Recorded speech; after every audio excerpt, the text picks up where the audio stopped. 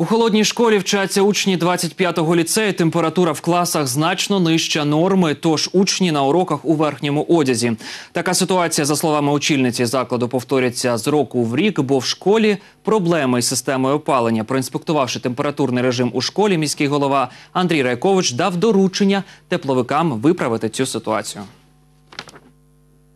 В куртках та пальто на уроках лише так вчаться учні 25-ї школи. Температура повітря в деяких класах ледь сягає 14 градусів. У нас е, у школі холодно, а, тому нам приходиться сидіти в курточках.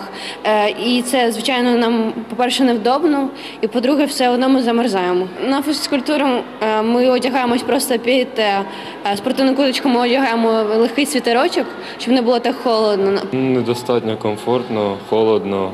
Всі сидять в куртках на уроках, е, на перервах сиділи на батареях навіть. Директор розповідає, в школі холодно, бо приміщення великі, ще тут застаріла система опалення. В актовому залі і в спортзалі холодніше, тому що там дуже величезне приміщення, там висота 6 метрів. Ясно, що там е, було холодніше. Вестибюлі, ви бачите, які в нас е, дуже великі вестибюлі, е, вікон дуже багато. Тому ясно, що температура була не дуже комфортна. Перевірив температурний режим в школі міський голова Андрій Райкович. Тепловикам дав завдання виправити ситуацію. Вже на наступний день ті взялись за роботу. На даний момент працівниками підприємства нашого було демонтовані елеваторні вузли. Буде збільшений діаметр отворів в цих е, елеваторних вузлах, щоб більша кількість теплоносія поступала до системи опалення.